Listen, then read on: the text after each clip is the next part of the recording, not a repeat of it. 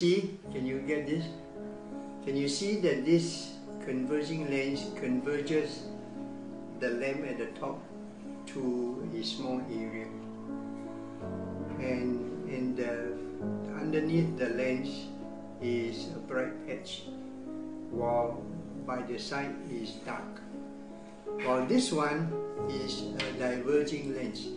Diverging in the sense that when the light comes in the light gets away from the center so that the rim is bright while below, directly below the lens is dark.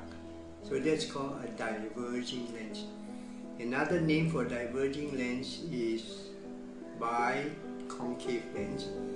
Another name for converging lens is biconvex lens. In convex lenses, the center is thicker than the rim. You see the center is thicker than the rim. Concave lens, the center is thinner than the rim. Yeah.